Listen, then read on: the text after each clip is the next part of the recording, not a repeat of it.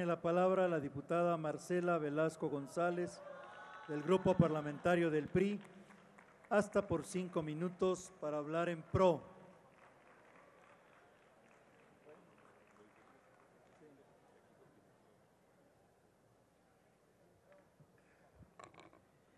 Con su permiso, presidente.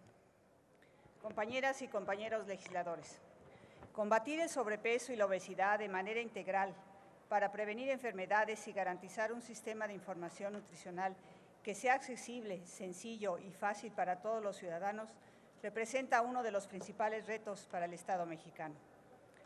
De acuerdo con la Organización Mundial de la Salud, la causa fundamental del sobrepeso y la obesidad se debe principalmente a un incremento en la ingesta de alimento de alto contenido calórico y un descenso de la actividad física. A nivel nacional, el 76.3 de la población no sabe cuántas calorías debe consumir al día y en el caso de la población rural aumenta al 82.5%.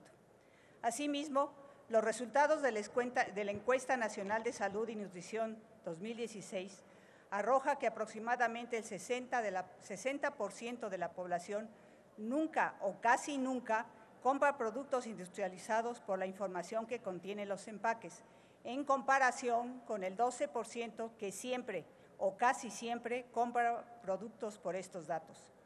Por lo anterior, es importante una propuesta que salvaguarde los derechos humanos de los consumidores, pero que al mismo tiempo sea consistente con las recomendaciones de instituciones nacionales e internacionales y tome en cuenta prácticas exitosas en la materia. Con esta reforma se pondrá a disposición de los consumidores información de fácil comprensión, visible y real, con el fin de que conozcan la cantidad de azúcares, grasas y sodio de un producto alimenticio.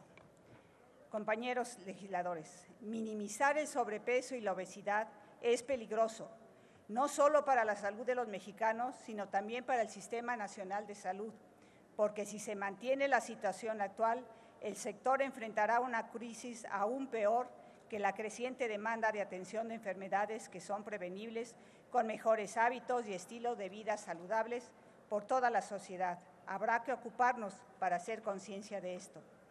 En este sentido, el presente dictamen que está a consideración de este, pleno, de este pleno reforma y adiciona diversos artículos de la Ley General de Salud con el propósito de regular un nuevo sistema de etiquetado y advertencia para alimentos y bebidas no alcohólicas, a fin de orientar a los consumidores para que puedan elegir mejor su alimentación.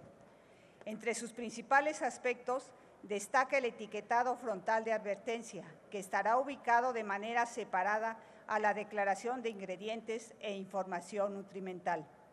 Para asegurar sus beneficios, contempla la incorporación de diversos programas de nutrición en espacios educativos, instituye nuevas atribuciones a la Secretaría de Salud y establece el desarrollo de medidas para reducir la mala alimentación, el consumo de alimentos o bebidas que representan un riesgo potencial.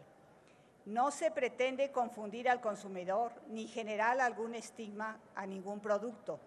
Por ello, esta reforma para el etiquetado frontal de alimentos debe formar parte de una política pública integral que atienda un problema de salud sin afectar la actividad económica del país. En el grupo parlamentario del PRI nos, pronunciamos por la urgencia de avanzar en mecanismos que permitan ejercer con plenitud derechos fundamentales como la protección de la salud, la alimentación nutritiva, suficiente y de calidad, y el acceso a la información tutelados por nuestra ley fundamental y los tratados internacionales de los que México forma parte. Hagámoslo con soluciones integrales que nos permitan afrontar, disminuir y prevenir de manera efectiva los altos índices de sobrepeso y obesidad que prevalece en nuestro país en perjuicio de la salud de millones de niños, adolescentes y adultos. Creemos que es posible construir alternativas y políticas públicas que no afecten la actividad productiva sin descuidar el interés constitucional de procurar en lo individual y social un adecuado estado de salud y bienestar para toda la población. Es cuanto, señor presidente. Muchas gracias, diputada. Tiene la palabra